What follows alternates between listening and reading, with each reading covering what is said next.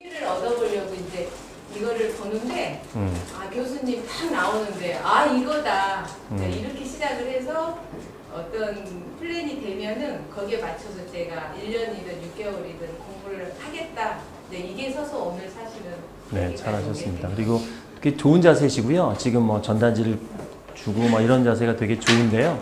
어, 올해는 하지 마세요. 그거는. 네. 예, 그냥 경험상으로 하시는데 거기서 어, 이 아예 언제까지만 할 거야라고 딱 정해놓고 하세요. 거기서 계약 절대 안 나옵니다.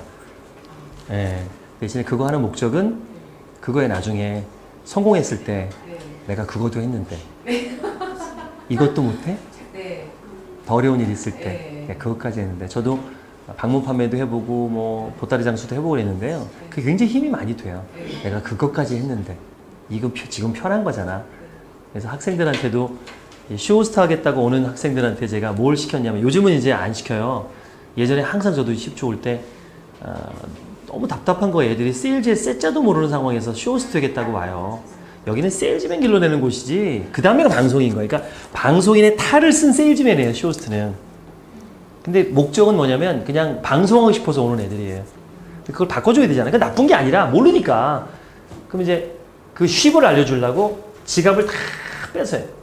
상자에다 담고 그때만 해도 이제 전철표가 있었던 시절이라 어, 뭐 전철표 하나씩 줍니다. 다 뺏고 대신 휴대, 휴대폰은 어, 그때 휴대폰이 있었나? 아주 옛날이라. 어, 그래서 이제 지하철에 집어넣고 숭실대역 2번 출구에 나온 호프집이 바로 있는데 2시간에 거기서 모인다. 명함 50장씩 가져와라. 2인 1조. 2인 1조예요. 한 조가 50장을 명함을 얻어와야 돼. 지하철에서. 아무것도 없는 상황에서. 그럼 뭐 해야 돼요? 이거 잡아야 선생님 여러분 안녕하십니까? 저는 쇼호스 지방생으로서 학원에서 대인 공포 해소와 이런 거 위해서 명함을 받으라고 했습니다. 제가 이런 시나리오를 아무 얘기도 안 했고 알아서 하게 하는 거예요. 그 명함을 쉽게 줘요? 안 준다고. 그걸 받아내기 위해서 별 머리를 잘 써요. 2인 1조라 그랬잖아요. 한 사람이 바람을 잡아야 돼요. 어유 학생 여기 명함 하나 가져가. 바람잡이를 하거나 뭔가 교대로 하거나 이렇게 작전을 짜게 하는데 희한한 건 2시간 시간을 주면 1시간 30분 동안 망설입니다. 나머지 30분에 50장을 다 얻어와요. 결국은 해옵니다. 애들이. 물론 안 하는 애도 있지만 난리가 나요. 호프집에 들어오면. 내가 해냈다 이거지. 어디 태어나서 거기 가서 그런 짓을 해요. 이 귀한 아들, 딸들이. 그 쉽을 알려주고 싶은 거예요. 그걸 하는 거예요. 예, 굉장히 잘하고 계세요. 떨어진 쉽을 살리면서 하고 계세요. 대신에 고객 확보를 어떻게 할 것인지를 더 고민하세요. 공부가 중요한 게 아니라 고객을 어떻게 확보할 것인가가 먼저인 것 같아요. 그 그걸 관리를 지금부터 하는데 바로 그 부동산 얘기할 게 아니고요. 지금 공부하는 부분들을 계속 정보를 주세요 고객들한테. 어차피 공부하는 거. 알짜 공부 진짜 재밌는 거 있잖아요. 그거를 문자가 됐던 주변의 지인이 됐던 계속 알려주는 거예요.